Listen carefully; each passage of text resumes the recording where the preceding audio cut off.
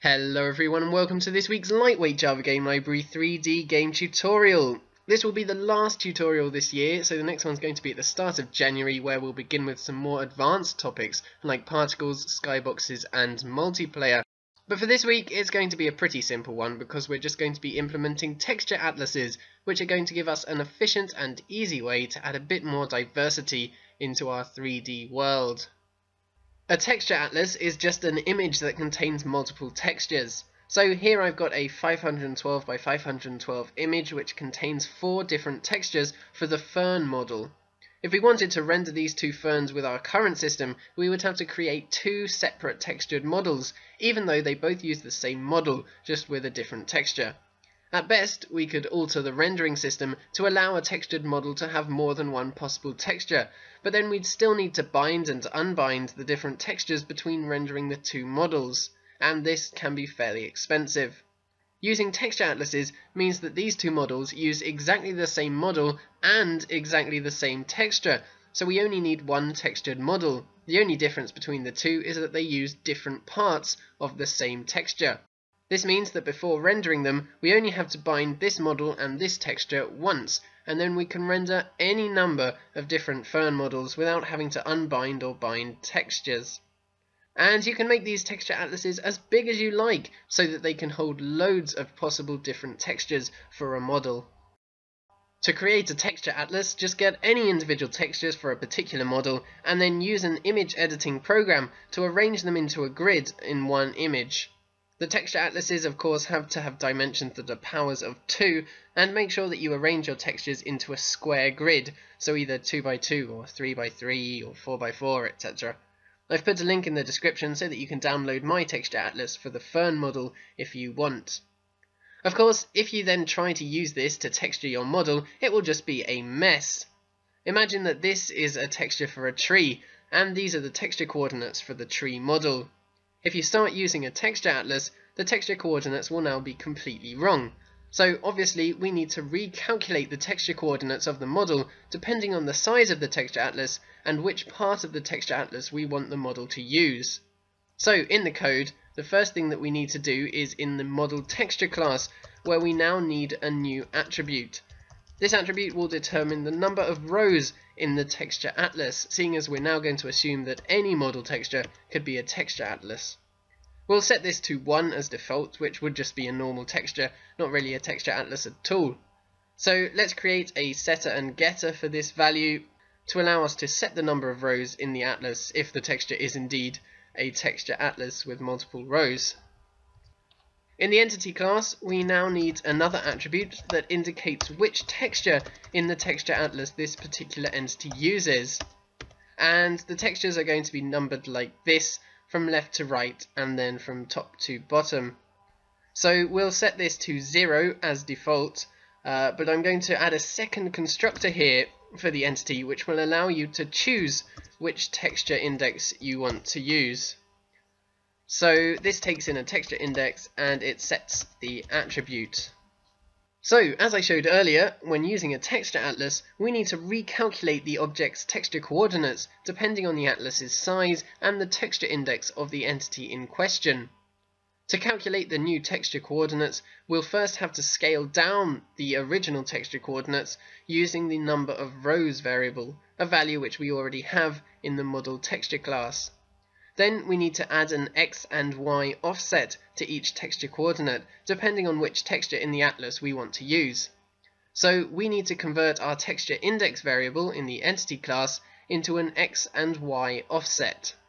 These calculations aren't too tricky. For the x offset, we'll first work out which column the desired texture is in by using the modulus operator. Then the x offset is easily calculated by dividing the current column by the total number of columns, which of course is the same as the number of rows. And we'll do a similar thing for the y offset. First calculate which row the texture is in by dividing the texture index by the number of rows and flooring the result.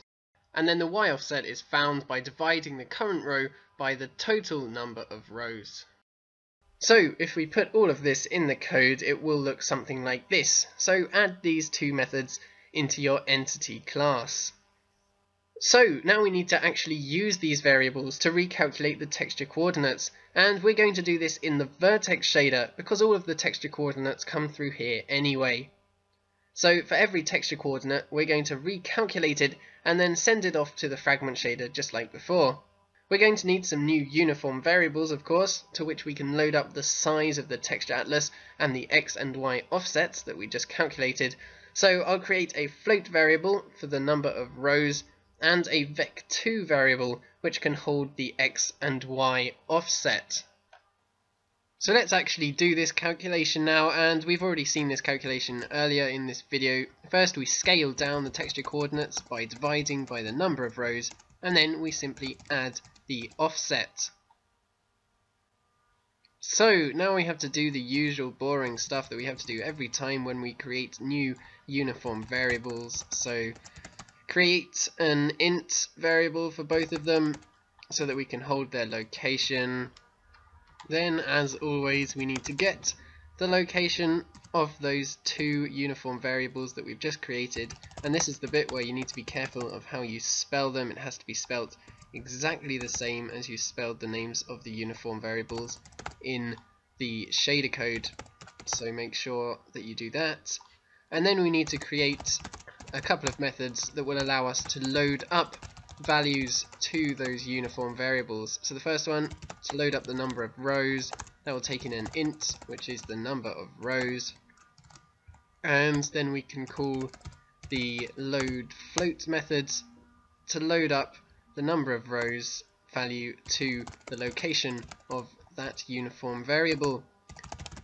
And we have to do the same for the offset. That will take in the X and the Y offset. Uh, we're actually going to have to go into the shader program class now to create a method that can load up a 2D vector because at the moment we can only load up 3D vectors.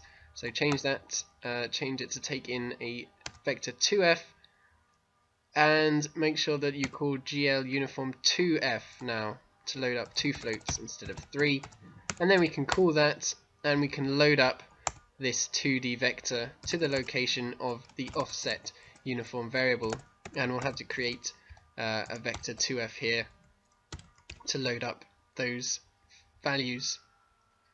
So now in the entity renderer we need to call those two methods that we just created to actually load up the values. So we can load up the texture, uh, the number of rows in the atlas in the prepare texture model method. So we'll call that load number of rows and then texture.get number of rows to load the offsets, we need to do that per instance, per entity, because it could be different for each entity. So in the prepare instance method, we're going to call, call shader.load offset, and that will take in the textures X offset and the textures Y offset. And the final thing we have to do in the main game loop, for any textures that are texture atlases, you have to indicate how many rows are in that texture atlas. So here I've set the fern texture atlas to have two rows, uh, because it does have two rows. And then whenever you create an entity, that particular entity, you need to specify which index, which texture index you want to use, which part of that texture atlas do you want to use for this particular entity. Uh, but here I've just done a random number between 0 and 3 so that will create uh, a random texture for each of the ferns. So if we load that up and run that you can see that all of the ferns have uh, their different textures and you can see the four different textures here rendering on the ferns at random.